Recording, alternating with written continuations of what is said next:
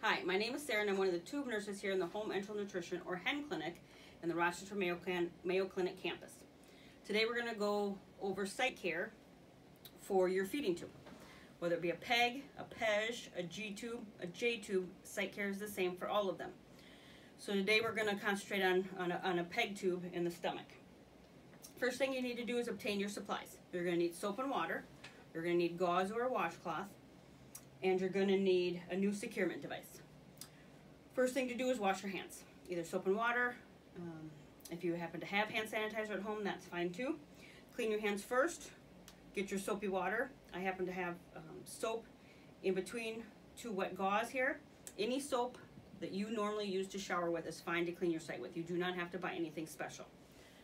First thing, lift up one end of your skin disc, the round piece here.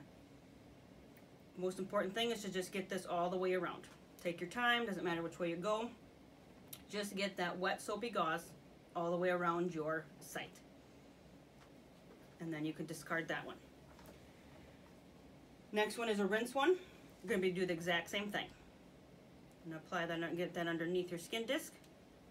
You're going to bring that up and around. What we're doing right now is we're removing any soap residue that you have on your skin. So we're just to go ahead, get that off discard that one. Now we have a dry one.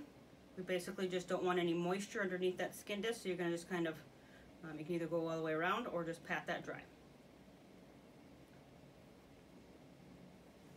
While you're doing that, you want to be looking for any redness underneath this skin disc. You also kind of want to be um, feeling around. Do you have any induration or swelling? Do you have any drainage? Do you have any bleeding? Anything like that you might want to note down. The other thing we say with these is do not use any lotions, ointments, or creams underneath the skin disc. Um, it can cause the skin disc to actually slip. Um, we also say no gauze. If it's not leaking, not draining, everything looks good, we don't want any gauze just as a normal thing. If you are having some leakage, um, and it happens to be getting on your t-shirt or whatnot, you can take a gauze, fold it in half, and lay it under the lower half of the skin disc. This will help you catch any drainage.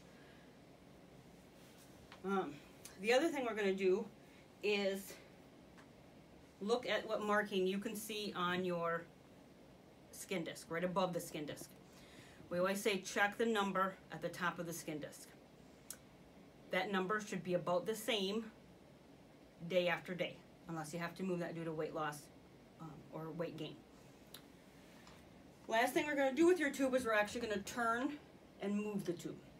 We want to grab the skin disc and move this as one piece. We're going to do a complete rotation of the tube, bring that back around, and then what we're going to do is actually move the tube in and out.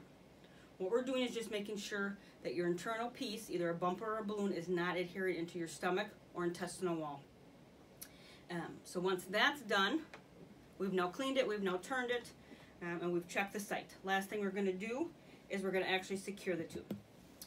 Two types of securement devices that we use here um, in, the, in Rochester is the CiproNet, which can either be pulled down over your head and, and shoulders or up over your legs and goes all the way around your abdomen and holds the tube in place that way.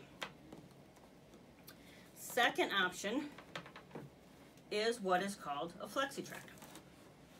This is a tape product that you just apply to your abdomen. Place the tubing into it. Secure those two flaps and your tube is now secured. Any questions? Please contact your regular care provider.